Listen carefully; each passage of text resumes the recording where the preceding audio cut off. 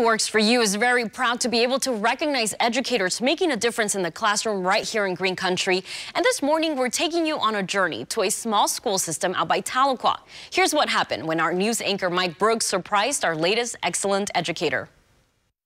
We're in Peggs, Oklahoma today waiting for John Lewis because he is the next excellent educator. Woohoo! Surprise, John Lewis! You are an excellent educator. Mike Brooks with Channel 2. How are you, sir? I'm good, I think. you look a little surprised. I am very surprised. you had no idea this was coming? No. All right. Do you know what's happening? No, I don't. John Lewis was more than surprised. He was at a loss for words. The social studies and geography teacher has been educating kids for a whopping 37 years.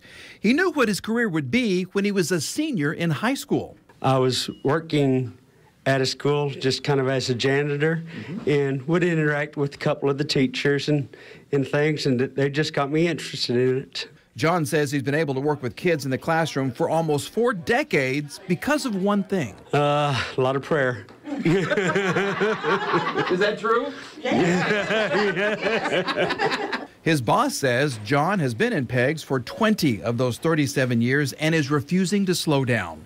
He's currently working on his doctorate and so which really means a lot to me because that means he's always trying to improve himself and i think that's a great role model for our kids. John wears several hats as he works with kids. He helps with attendance federal programs and is a reading coach.